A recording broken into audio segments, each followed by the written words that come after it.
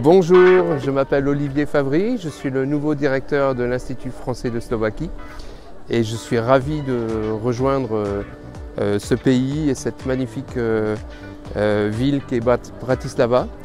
je viens de Boston, j'ai travaillé comme attaché culturel auparavant, j'étais aussi en poste à Taïwan, j'étais en poste aux Pays-Bas et je suis très intéressé par euh, les trois continents, euh, l'Europe bien entendu, euh, l'Asie et l'Amérique.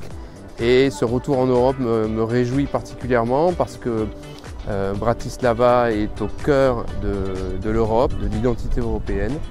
Et c'est un, un, vrai plaisir de voir que ce pays est traversé par un fleuve qui, qui traverse une dizaine de pays. Donc voilà, je suis très content.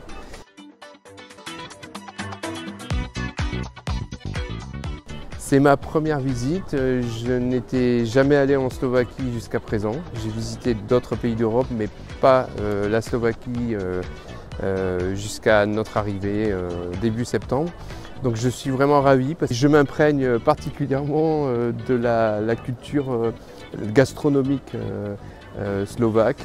notamment le, plat traditionnel blinzové halušky et je suis aussi euh, très curieux de découvrir euh, vos, fromages, votre, votre géographie euh, avec les, montagnes des Tatras. voilà, je suis ravi d'être là.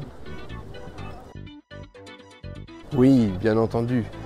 D'abord, historiquement, c'est un pays qui est au cœur de l'Europe.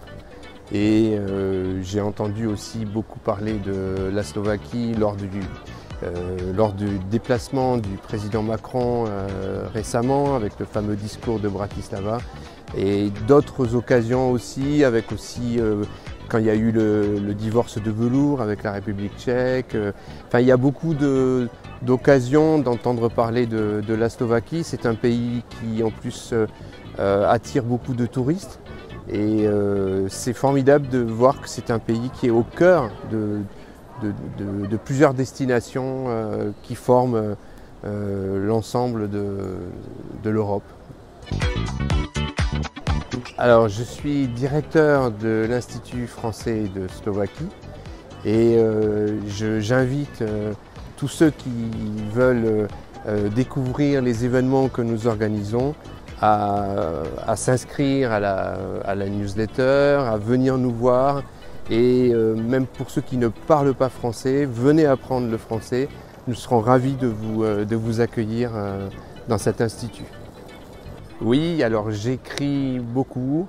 J'écris de la non-fiction avec mon nom, j'écris de la fiction avec, un pseudonyme. et je joue de la guitare, j'ai été dans plusieurs groupes de rock et je, compose des chansons à texte, donc j'aime beaucoup la, musique, euh, la musique rock, mais aussi la musique classique, le jazz. J'aime toutes les musiques du monde.